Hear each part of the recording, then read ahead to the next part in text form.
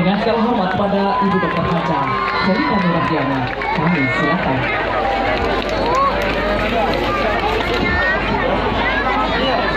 Bismillahirrahmanirrahim Assalamualaikum warahmatullahi wabarakatuh Alhamdulillah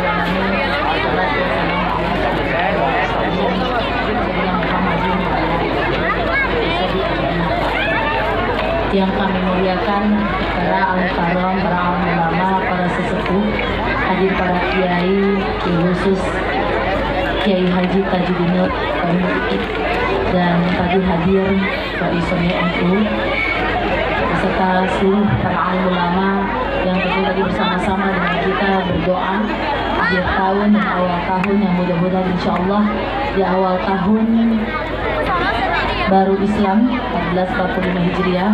Insya Allah kita semua bisa menjadi pribadi yang insya Allah lebih baik lagi. Yang kami hormati dan kita banggakan hadir bersama kita jajaran Forkopimda langsung hadir. Mohon izin berdiri untuk memperkenalkan diri.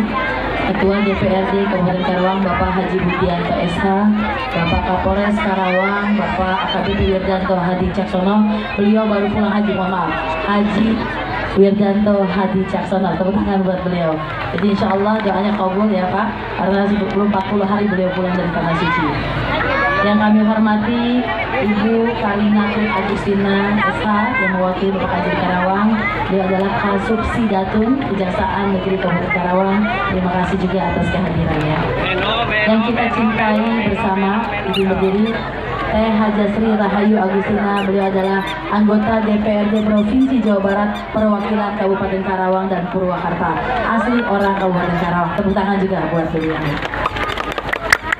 Yang kami hormati tentunya kita banggakan bersama Ibu Bapak juga berdiri Dr. Randes Haji Acep Jamuri Bapak Sekretaris Daerah Kabupaten Karawang yang merupakan juga Ketua DKM Masjid Agung Kabupaten Karawang beserta segenap para staf ahli, para asisten, para kepala perangkat daerah, para kabak, para camat di lingkungan pemerintah daerah Kabupaten Karawang yang kami banggakan dan kami cintai.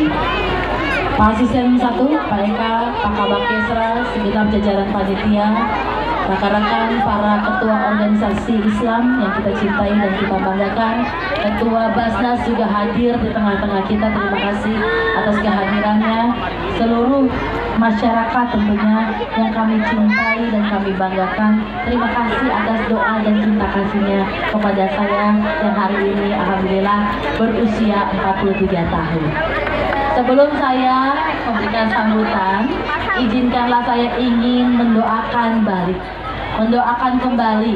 Karena saya pikir doa yang kita panjatkan tadi, yang masyarakat panjatkan kepada saya khususnya, izinkan saya mendoakan kepada masyarakat. Allah senantiasa memberikan usia yang panjang dan berkah. Allah senantiasa memberikan kita kesehatan yang sempurna tanpa kekurangan apa pun. Limpahan rahmat, keberkahan, keselamatan, lindungan dan kasih sayangnya serta kebahagiaan lahir batin dunia akhirat. Dan insya Allah tentunya Karawang yang kita cinta ini Karawang penuh rahmat dan keberkahan yang Allah berikan kepada kita semua. Amin ya rabbal alamin. Bapak Ibu yang saya hormati, hadirin berbahagia, rekan-rekan Forkopimda yang kami cintai, tentunya hari ini kita semua melaksanakan akan melaksanakan pawai obor, lomba kendaraan hias beduk antar opini dan kecamatan dalam rangka kita memperingati tahun baru Islam 1 Muharram 1445 Hijriah. Tahun baru artinya kita bagian kita mentafakuri kehidupan kita. Satu yang lalu apa yang sudah kita perbuat, apa yang sudah kita lakukan, yang mudah-mudahan hijrahnya di tahun baru ini kita bisa menjadi pribadi yang insya Allah lebih baik lagi. Karena tentunya kematian adalah sesuatu hal yang pasti.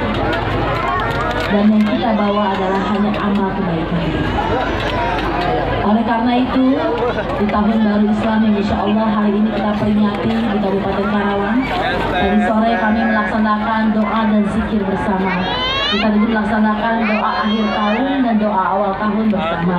Kita melaksanakan ibadah bersama di Masjid Agung sejak pada asar sampai akhirnya kita bertemu di sini untuk melaksanakan kegiatan pawai obor dan juga insya Allah tentunya ini adalah kegiatan bagian mentafakuri bahwa di tahun baru Islamnya insya Allah akan kita besok alami insya Allah kita akan menjadi pribadi yang insya Allah lebih baik lagi dan bermanfaat bagi orang banyak insya Allah. Bapak Ibu yang saya hormati, kami tentu juga atas nama pemerintah daerah Kabupaten Karawang. Kami mengucapkan dan meminta maaf permohonan maaf yang sebesar-besarnya. Apabila di tahun 1444 Hijriah banyak kesalahan kami, banyak kehilapan kami dan kelalaian kami, tapi insya Allah kita yakinilah itu tidak ada kesengajaan yang kami lakukan. Tapi semata-mata insya Allah ini akan menjadi ta- tafakuran tafakur diri kami untuk yang menjadi pemerintah daerah yang memang dekat dengan masyarakat, memberikan pelayanan yang terbaik bagi masyarakat dan insya Allah tentunya semua program kebijakan anggaran pemerintah daerah Kabupaten Karawang harus akan lebih pro lagi kepada masyarakat dan bermanfaat memberikan manfaat yang besar-besar sebesar-besarnya bagi masyarakat Kabupaten Karawang. Insya Allah amin. Kegiatan pawai obor, kegiatan lomba kendaraan hias yang akan dilaksanakan oleh rekan-rekan OPD dan juga teman-teman ormas Islam.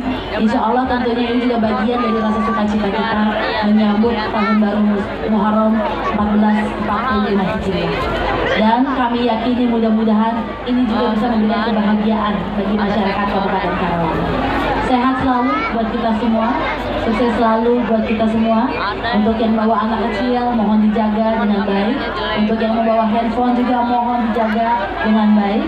Dan kalau tentunya partisipasi dan juga peran sertanya ketika nanti pawai hadir, pawai ada karena ini ada ada pawai pawai obor harap untuk berhati-hati dan minggir ke tempat yang aman karena tentunya kami mengadakan acara seperti ini adalah untuk berbagi sukacita dengan masyarakat Kabupaten Karawang.